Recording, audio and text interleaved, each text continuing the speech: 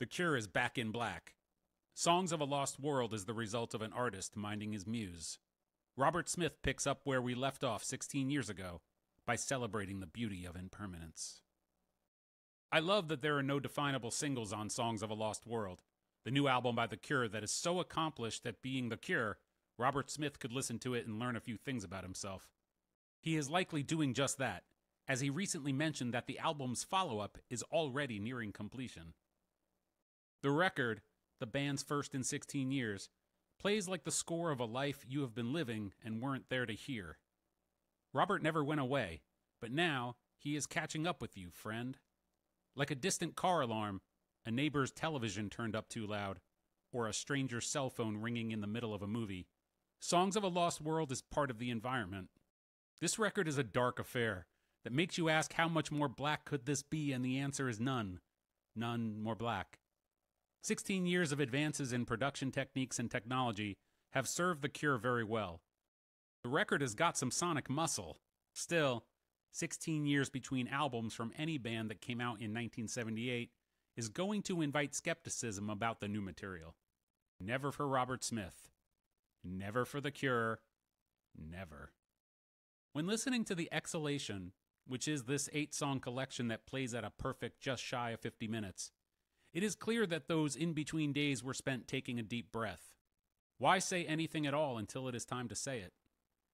That is what makes Robert so effective, so able to be trusted, and so of the moment every moment. Robert Smith has never flaunted authenticity as an angle, and his authenticity is absolute for it. His credibility is verified by the songs. The timeline for the birth of the tunes is irrelevant. Immediately, Songs of a Lost World is a meditation meant to bring you to an emotional place and leave you there. What you do next is up to you, but no matter what, that next thing will only be what it is after you have been here first. This record will change you. Opener alone makes quick work of those washy cure keys, performed by Roger O'Donnell, that sound like what we see on the horizon line of a morning sky so gray that it tricks us into not knowing what time it is as it meets the tops of trees holding the last days of fall leaves. The vibration of Simon Gallup's bass guitar strings play percussion, an unexpected and exhilarating bit of umami like sensory experience.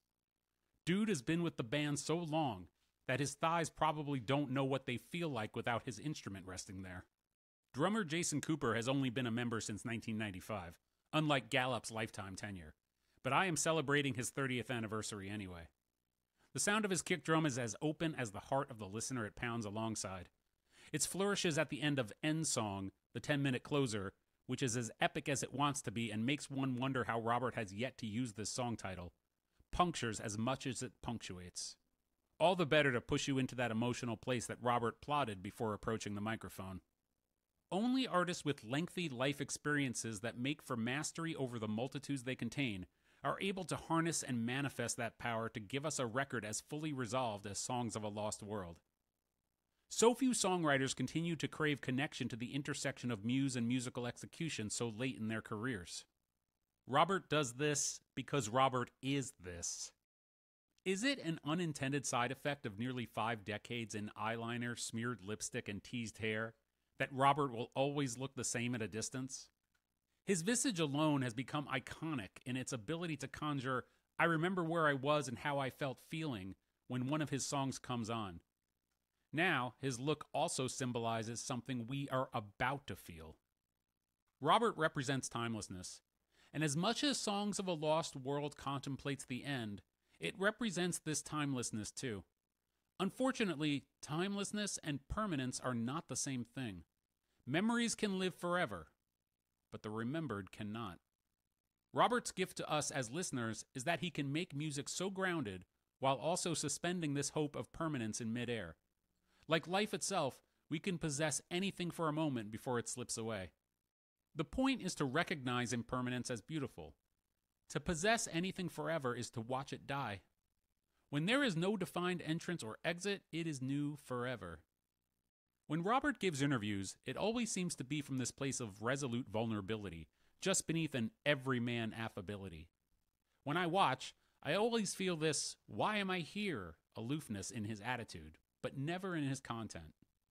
Robert is forever letting us into his world, but doesn't act like he needs to keep us there. This is the no fucks to give posture that always set him apart from his peers, forever injecting wry humor into a catalog known for picking apart the most desperate moments of life. Even Friday I'm in Love describes a pretty bleak rest of the week after all. The songs of Songs of a Lost World are beautiful in their impermanence too. Robert gets it because he knows there is nothing to get.